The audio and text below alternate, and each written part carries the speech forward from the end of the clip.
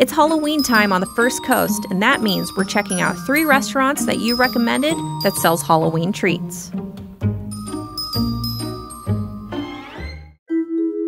First on the list, Good Dough. They specialize more in seasonal goodies like this pumpkin cake, but they do offer a few Halloween treats like this trick or treat donut, which is basically their milk chocolate raised donut with a little candy on top. And I personally chose a Reese's peanut butter cup.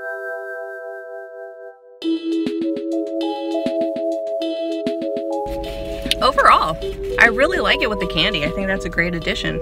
Definitely a treat. And with it getting on my face, definitely a trick. Since filming this, Good Dough has added a few more options in their boo box. Alright, so another place that you all suggested was Cookie Dough Bliss, where I found their spooky dough pops.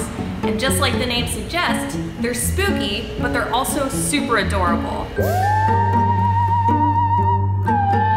These spooky dough pops are so fun. They come in designs like a mummy, pumpkin, Frankenstein, and a ghost.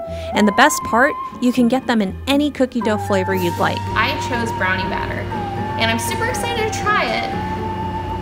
But I do feel a little bit bad about ruining it, because look how cute it is.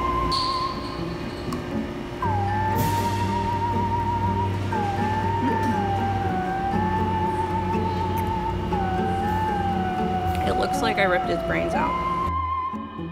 They come by the dozen, but order a day ahead. And last on the list, Mini Bar. They offer Halloween packs before and on Halloween.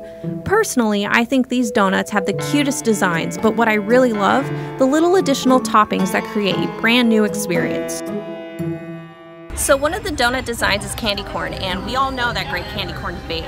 You either love it or you hate it. So I'm about to try this to see which side I fall on. Here we go. So, what's the verdict? Well, I can tell you that if you love candy corn, you'll love this donut. And great news for me, I actually like candy corn, so for prices on these treats, check out our article on firstcoastnews.com. All right, foodies, do you have a restaurant you'd like us to check out? Tell us. Use the hashtag First Coast Foodies, and don't forget to follow our social media pages.